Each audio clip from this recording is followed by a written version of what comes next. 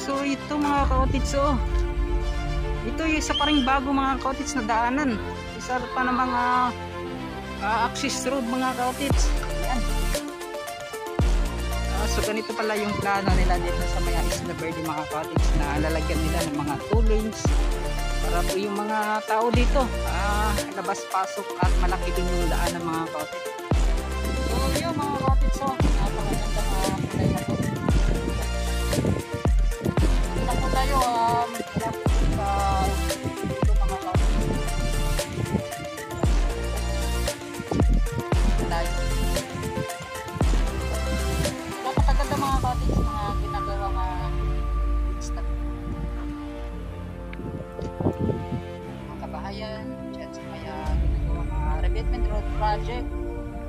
Sistral na yan napakaganda. say-say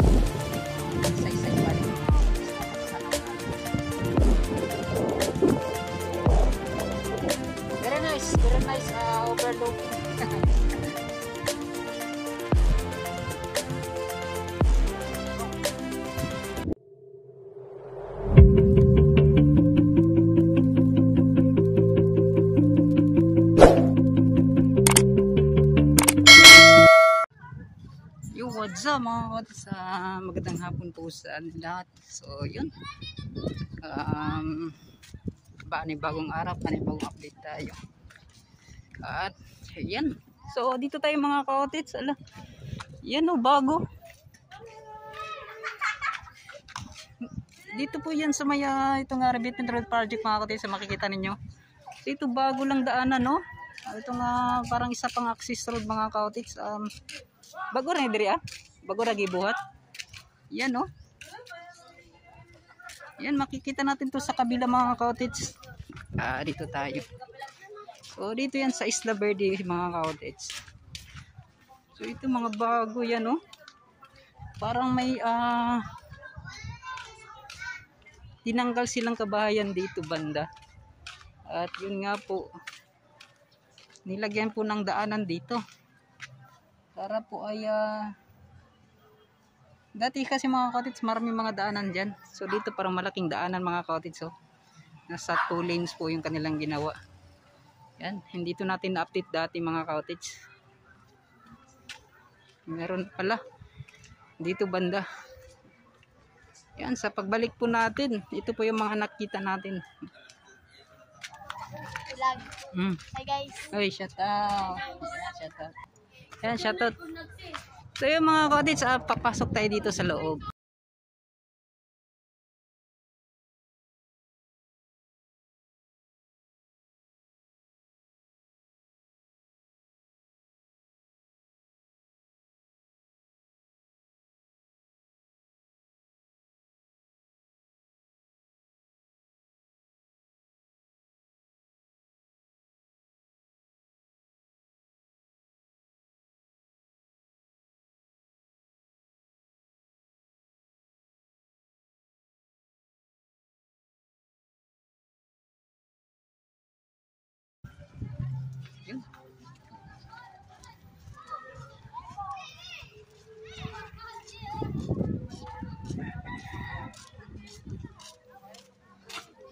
So ito mga cottage oh. Ito yung isa pa rin bago mga cottage na daanan. Isa pa na mga uh, access road mga cottage. Yan.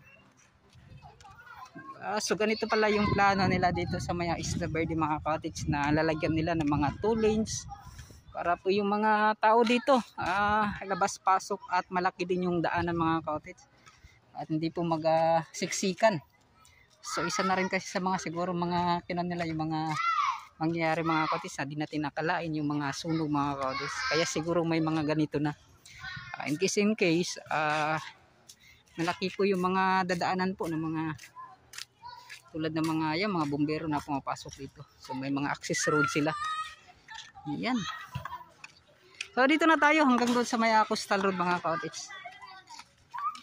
Ay. Tito Tans TV. Tito Tans TV. Ito Tans. Ah. TV. Oh, shout Hi out, shout out. guys. Salamat.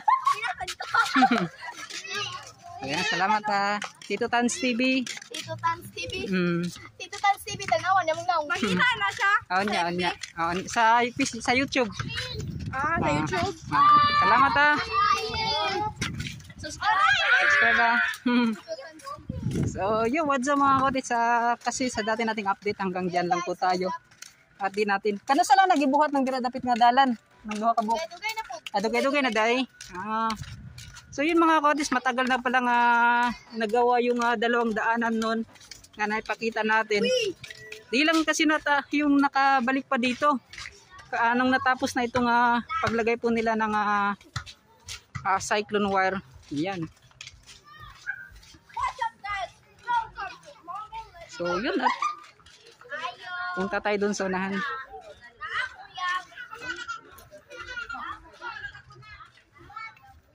So dito, yung ah, labasan po mga kotis. Hi guys. Hmm. Hanggang doon po mga cottage so, sa ginagawang ah, major bridge. At kapag pupunta tayo dito mga cottage sa may major bridge mga cottage. Ay, so mas malapit lang ah, daanan yung oh, shout out, shout out. Yan, salamat. Sa may boulevard. Ah, kapag ah, papasok tayo dito at asisilip nyo yung ah, ginagawang ah, major bridge mga cottage. Yan.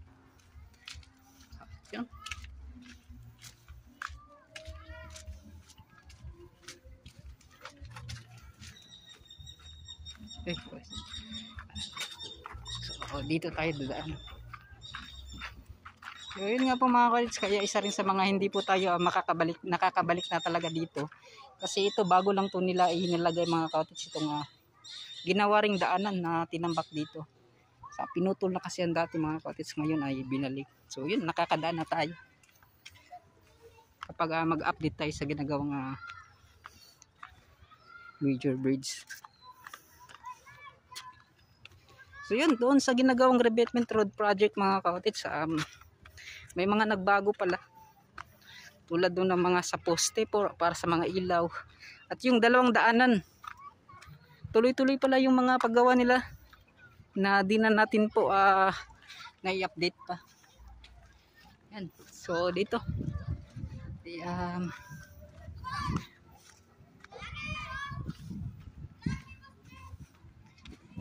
so yun. Dito tayo sa taas mga cottage. Ngayon po ay araw ng ah, linggo. At Kala ko po mga kotis, kanina ay ah, ulan na. So si Sir Padrones vlog. Yan mga kotis ah. Yan. Sir, yung hapon. Hmm. Okay lang magkondre? sir, ayong hapon sir. Ah, si Kwan, si RG, vlogger. Isa. Ha? Ah, si SG vlogger. ah, ah, niya pa no? Nag ano na kita taka murag nag-post ka bago. Murag diri man ata to nga kwan. Diri na. Ah, kwan na to murag highlights lang. Highlights lagi. So, yun mga kautit sa yan namingi tayo ng permiso at yan, nakabalik tayo dito mga kautitso sa itong ah, major bridge dito po sa may Magsaysay area. At dito naman ay mapapansin ninyo yung mga mga kagamitan pa na mga nandito ay ah, ito ay ah, pag nakuha na talaga mga cottage at nalinisan dito banda ay yan sure na sure na na napakaganda na po. At yan dito naman banda dito sa baba mga cottage so yan so yan mapapansin ninyo so hindi naman ako masyadong malayo mga cottage dyan po sa abutment po. Yung sa dulo nito nga ginagawang major bridge yan. At makikita naman niyo ito nga ginagawang Davao Coastal Road. So um, kunting-kunti na lang talaga mga cottage sa kuting asfalto or pagpatag dyan. Asfalto and then dito sa paggawa ng um, sidewalk at itong nga bike lane. So parang yung kanila po nga design mga cottage kung gaano po kalawak dyan sa bike lane at sa sidewalk so ganito rin po so ito yung sinasabi ko mga cottage na sa mga ah, dalawa at kalahating ah, metro itong ah, sidewalk na ginagamit na ginagawa po dito yan o So dito yung ah, ginagawang pag-design din nila. So inuulit ko. Yan. Ayan yan no. Ah, mapapansin din yung mga cottage. Dito banda. Yan. So dito nila ilalagay yung mga poste. Ang maganda mga cottage yung pagka-disenyo. Itong ginagawang ah, para sa railings. At hindi kasi natin, dito banda mga cottage kung ano yung mga makikita natin kapag nandito tayo sa taas. Sobrang ganda dyan sa Samal Island.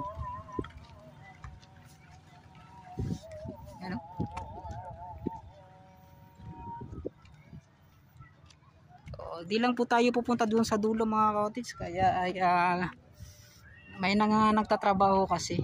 Yan, humingi lang tayo ng ga- kumuha lang tayo mga cottage ng kunting ah, clips dito at humingi ng permeso kay chief mga cottage na nandyan. No?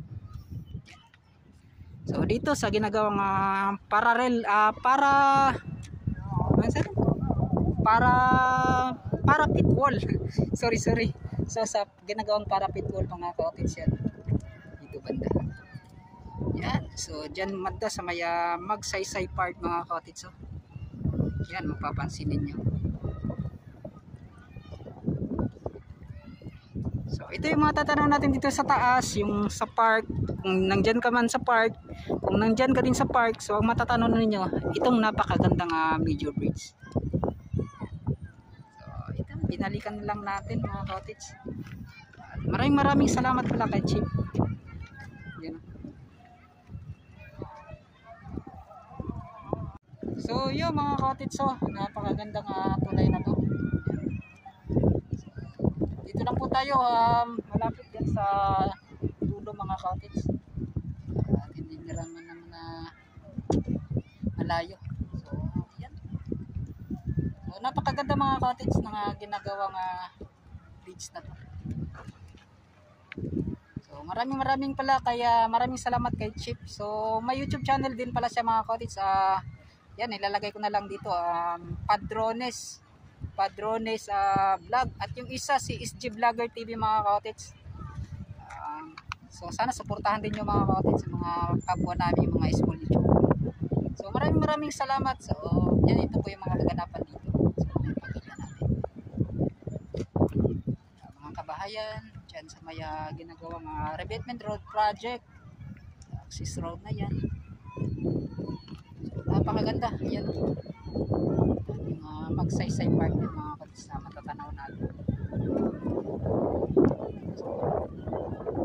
Very nice, very nice uh, overlooking.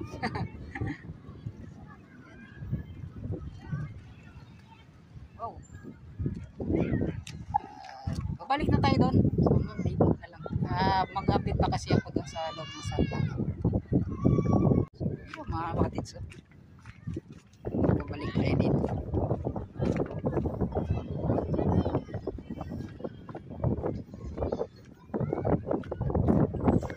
Diyan po yung ah, coastal road na Isla Verde City. So yun mga kapatid sa dyan, dito banda. So nakakuha tayo ng clip dito. Dito sa baba. Yan. At yan, ah, malaki na pala yung ah, dagat dito mga kapatid. High tide po ngayon. At babalik tayo dito sa baba. Kasi pupunta tayo dun sa Santa Ana Wharf.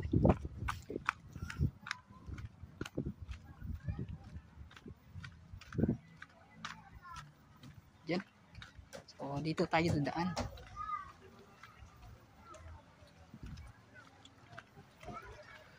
Yun, high tide na.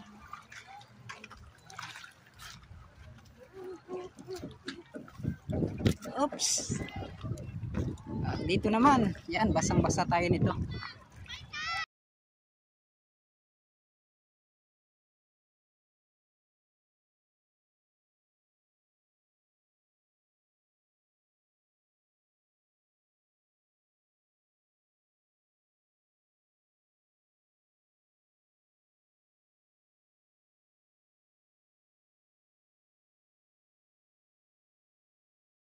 So ito, yan, napakaganda mga cottage.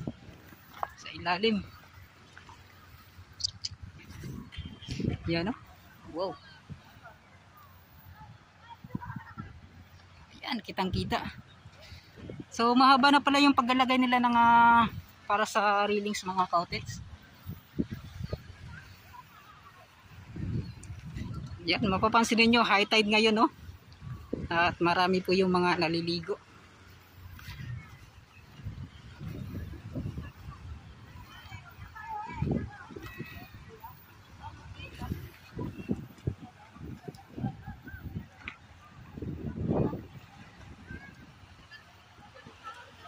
So, yun, at ito yung update natin sa ginagawang ah, media bridge mga cottage. So, napakaganda talaga tingnan kahit hindi pa natapos. Napaka-successful po ng ah, pagkagawa nito. At check na dudumugin talaga. Ah, yung proyekto na to. Dudumugin ng mga tao. So yun, maraming salamat. So hanggang dito na lang at ipakita naman natin ang kaganapan yung mga nagbabago dito sa ginagawang video bridge ito nga Davao Pusat. So yun, pupaalam na ako. Maraming salamat sa mga OFWs natin dyan. Maraming maraming salamat. Sa solid supporters, solid viewers natin, maraming salamat. So yan, sa mga hindi po nag-skip ads, ah yan, maraming salamat po sa inyong lahat. So sana tuloy-tuloy po yung mga hindi nyo pag-skip ads mga cottage. At hanggang dito na lang. Magpapalam na po. Bye-bye.